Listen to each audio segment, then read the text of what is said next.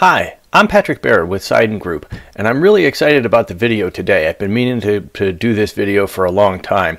What we're going to talk about is the DB2 for IBMI extension for VS Code, and specifically talking about a few different en enhancements to the select statement that we can use to get a CSV, a JSON, or to update the data. So let's just jump right in and take a look at this in action.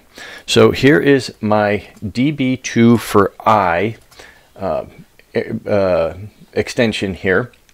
I'm going to start a new SQL job. I'm already connected to an IBM I. If you don't see the DB2 for I, go ahead and connect to your IBM I. I have a, an SQL job running now. I'm going to be using the sample database. And if you haven't already created the sample database, you can use this SQL statement, qsys create SQL sample.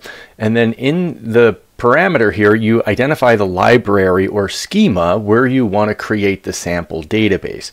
So I've already done this and I created a library or schema called sample. And what I want to do is I want to select all from sample employee. The employee is one of the, the sample tables that we have in the sample database. So here's a list of all 42 of the employees. And so this is kind of really cool, but uh, you know, not terribly exciting. Where it gets really interesting is if you wanted this data as a CSV, you can simply put CSV colon and run it. And now I have that data from the employees as a CSV file. And I can save this as, let's just put it in temp, employees.csv. So now I have a CSV file.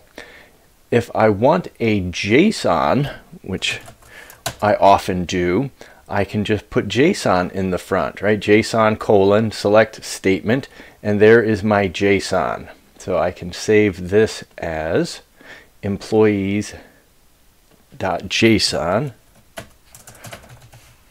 Right? And then the last thing that I wanted to show is instead of CSV or JSON, we can put update in here. And this will open up all of the results. I'm going to control B to hide the, activity over there. And what we can do now is click on any of these fields and update it right from VS Code right? So now uh, Christine has has 20 years of education instead of just 18 and we'll run another select statement here just to prove that it did in fact keep the the update. So that's it. I just wanted to show those really quick. You can run select statements in VS Code which is really cool um, but if you need a CSV or if you need JSON whoops JSON or you can select for update with just putting the colon in there. We'll put this back down to 18.